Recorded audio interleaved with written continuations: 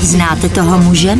Jeho uniforma neukáže, že je to ruský špion. Sověti mohli za války proniknout do řad nejvyšší nacistické hierarchie. Skutečné události posledních měsíců největšího vojenského konfliktu. Spochybňuje solidaritu mezi spojenci, kteří podepsali dohodu proti Hitlerovi. Okamžiky, které lze považovat za začátek studené války.